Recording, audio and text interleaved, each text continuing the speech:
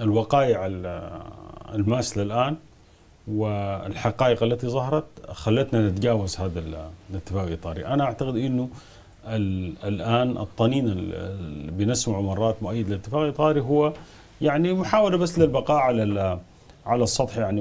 دي زي ما بيسموها السودانيين يعني دي فرفرة المذبوح لأنه يعني الاتفاق الإطاري أنا أعتبره خلاص في حكم في حكم الميت لعدة أسباب. السبب الأول يعني آه، خليك من من المجلس المركزي للحرية والتغيير يعني هو زي ما قالوا حزبين أو واحد ونص أو أو هكذا.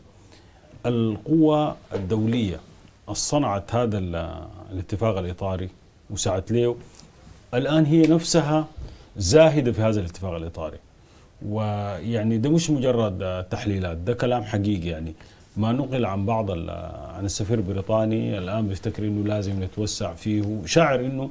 يعني هذا الاتفاق الإطاري غير مدعوم بما يكفي أنه حتى يصمد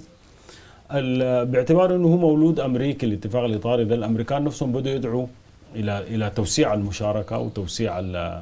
الجهات الدعم للاتفاق الإطاري. السعودية والإمارات يعني كثير من المنقول والمرويات عن السفيرين السعودي والإماراتي آه، انه هم شاعرين إنه أضعف آه، آه، عملية سياسية الآن هم يعني شاركوا فيها هي قصة الاتفاق الإطاري لأنه وجدوا إنه القوى السياسية الرئيسية في السودان والقوى الاجتماعية ضد هذا الاتفاق وإنه حفنة صغيرة جدا من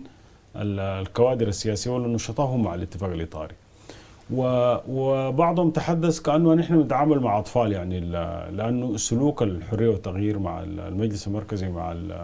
العملية السياسية هو يعني أقرب إلى إلى لعب العيال أو لعب الأطفال. تنظر إلى إلى هذا العامل الأكبر إنه دخول مصر في تيار آخر والورشة اتعملت في مصر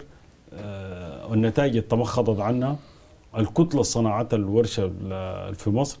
أيضا عندها اعتبار لأي آه، طرف بيجي ينظر خاصة الأطراف زي ما قلت لك الدولية صنعت هذا ودعمت هذا الاتفاق.